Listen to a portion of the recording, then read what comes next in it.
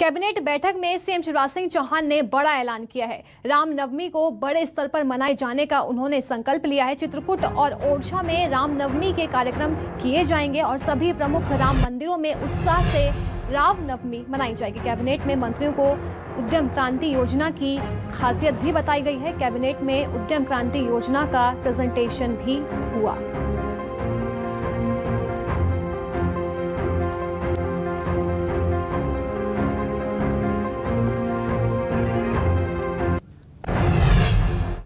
मेरे सहयोगी शब्बीर अहमद भोपाल से हमारे साथ लाइव जुड़ गए हैं। शब्बीर, शिवराज कैबिनेट की बैठक शुरू हो चुकी है। क्या कुछ अपडेट है बैठक से इस समय? देखिए, सीएम शिवराज सिंह चौहान की कैबिनेट की बैठक शुरू हो चुकी है और बैठक से पहले मुख्यमंत्री शिवराज सिंह चौहान ने अपनी कैबिनेट को संबोधित कराया और तमाम चीज़ों के बारे में बताया, जिस तरीके से कल बड़ा कार्यक्रम किया गया था दिल्ली के अंदर, और मुख्यमंत्री शिवराज सिंह चौहान ने अपने कार्यकाल के पंद्रह साल के कार्यकाल के बारे में बताया, और ये भी जानकारी दी कैबिनेट के अंदर कि पहली बार ऐसी कोई सरकार है जिसने अपने बारे में बताया है, पंद्रह साल के कार्यकाल के बारे में बताया कि उसने क्या कुछ योजनाएँ चलाई, किस तरीके से जनता को फ़ायदा पहुँचाया, और किस तरीके से उनकी योजनाओं को दूसरे राज्य अपना रहे हैं। इसके अलावा एक फैसला और लिया गया है। सीएम शिवराज सिंह चौहान ने अपनी कैबिनेट के तमाम मंत्रियों को बताया कि संस्कृति विभाग की तरफ़ से, यानी सरकार रामनवमी पर तमाम जितने भी राम मंदिर हैं, वहाँ पर बड़ा कार्यक्रम किया जाएगा।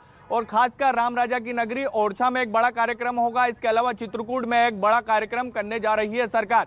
यानी आप ये कह सकते हैं, एक तरफ़ मध्य प्रदेश की कांग्रेस पार्टी भी रामनवमी पे हनुमान जयंती पर बड़ा कार्यक्रम कर रही है तो सरकार भी अब बड़ा आयोजन करने जा रही है और उसकी जानकारी मुख्यमंत्री शिवराज सिंह चौहान ने कैबिनेट की बैठक शुरू होते ही तमाम कैबिनेट के मंत्रियों को अपने विभाग के दिए। इसके अलावा दोपहर एक बजे उद्गम मुख्यमंत्री उद्गम युवा क्रांति योजना की आज शुरुआत करने जा रहे हैं जिसके अंदर युवाओं को एक लाख से पचास लाख तक का ऋण दिया जाएगा उनको आत्मनिर्भर बनाने के लिए। उनको व्यापार के लिए देखिए शब्बीर उद्यम क्रांति योजना का प्रेजेंटेशन दिखाया गया था इसकी खासियत बताई गई थी अभी बैठक में तो क्या कुछ इसकी खासियत बताई जा रही है? देखिए मुख्यमंत्री उद्गम क्रांति योजना के बारे में आपको बताएँ तो मध्य प्रदेश सरकार का लक्ष्य यह है कि करीब एक लाख युवाओं को रोज रोज़गार से लगाया जाए, स्वरोजगार दिया जाए और उसी के प्रयास के लिए सरकार की तरफ़ से इस योजना को लाया गया है।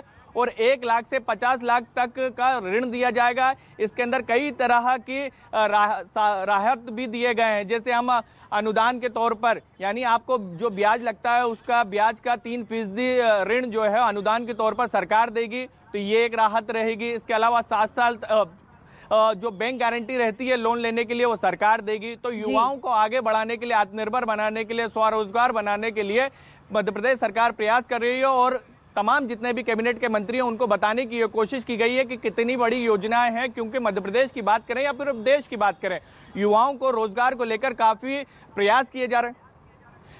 प्रयास किए जा रहे हैं और एक के बाद एक सरकार की तरफ़ से भी कदम उठाए जा रहे हैं। तो कैबिनेट के मंत्रियों को ये जानकारी दी गई है कि आपको अपने इलाके में जाना है आपके प्रभार वाले इलाके में आगे भी आपसे खबरों पर हम लगातार अपडेट लेते रहेंगे।